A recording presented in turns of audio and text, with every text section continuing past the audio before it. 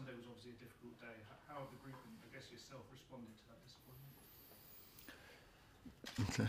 Obviously, eh, it was a difficult day, and as always, we analyze and we do the tough, eh, the reality. It was a reality check, so we have to learn from it and then carry on.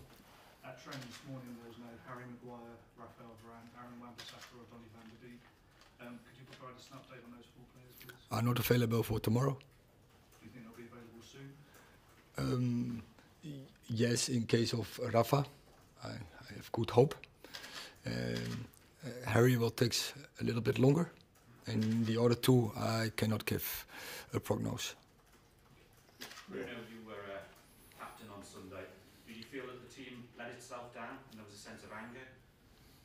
No, obviously we, we know that uh, the game that we did was not uh, good enough for our standards, for, for what we have set for ourselves, for what we want to achieve this season.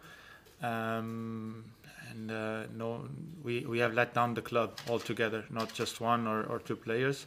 Altogether, we, we didn't did uh, enough to win the game, uh, to get uh, to get points from that game, and uh, we all all when I mean all is all starting on me, all disappointing with the with the result, obviously.